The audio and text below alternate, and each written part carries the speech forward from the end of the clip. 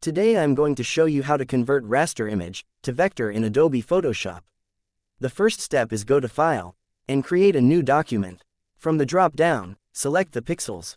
I'll make the width 5903, the height 3935, the resolution 300 pixels inch, the color mode RGB color 8-bit, and the background contents white. Then click Create, go back to File, place Embedded, then place a photo that you would like to make into a vector.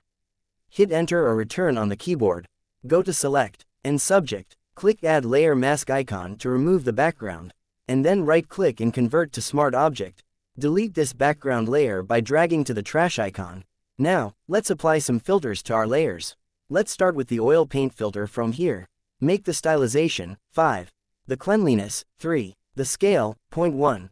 The bristle detail, 0 and uncheck lighting. Then click OK. Go back to Filter, and open the Filter Gallery. Open the Artistic folder, and choose the poster edges. Make the edge thickness 10, the edge intensity 0, and the posterization 6. Then click OK. Go back to Filter, Blur, and Surface Blur. Make the radius 20 pixels, and the threshold 10 levels. Then click OK. Now, duplicate the oil paint filters. So, hold the Alt key and drag the oil paint and drop it above the surface blur. Finally, go back to the filter, sharpen, and choose the unsharp mask. Make the amount 155%, the radius 10 pixels, and the threshold 10 levels. Then click OK. Click on the adjustment layer icon and create a hue and saturation layer.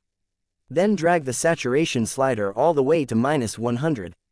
Go back to adjustment layer icon and create a posterize layer. With this level slider, you can control the final output number of colors. For example if you want a 4 colors vector, just set the levels to 4. And you will get a white, and 2 levels of gray image like this one. And 2, will gives you a 2 colors image, black and white. Now, let's change it to 4. Finally let's create a levels layer. Then drag the levels layer, and drop it above the model layer. By moving any of the three sliders, you can control the density of each color like that.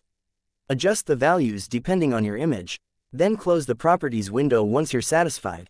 Select the top layer, press Ctrl, Shift, Alt, and E to copy merge all layers. And then disable the four layers below it. Step 2. Vectorizing everything. Now, go to Select, and open the Color Range window from here.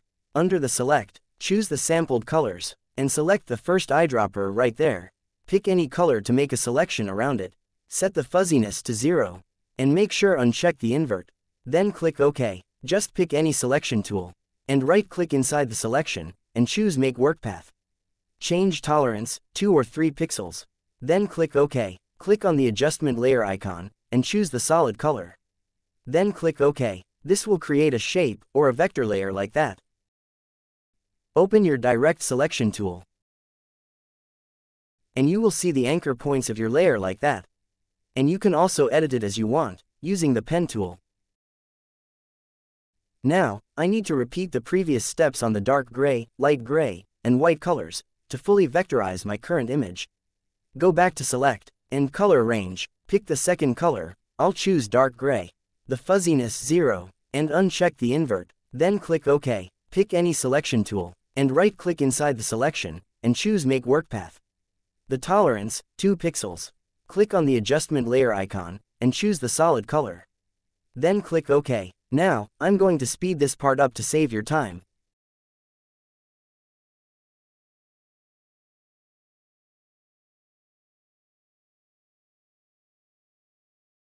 Hide all layers, and here is the final vector result.